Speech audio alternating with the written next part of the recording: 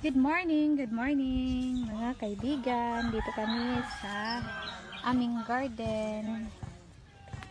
Pipino. Pipino.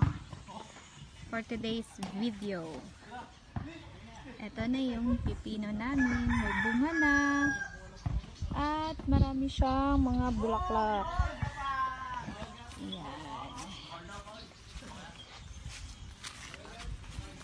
Kailangan magtanim ng pipino kasi ang mahal-mahal ng pipino sa market. Mahal na ng mga gulay. Kaya kung meron tayong konting space at pwedeng pagtaniman, taniman natin.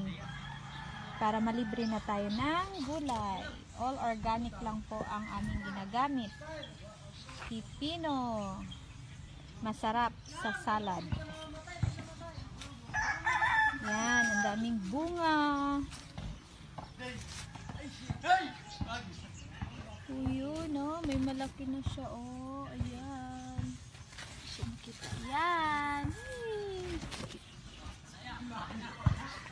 Thank you, Lord. At pinabunga nyo na ang aming mga tanim na pipino. Thank you for watching. Bye-bye.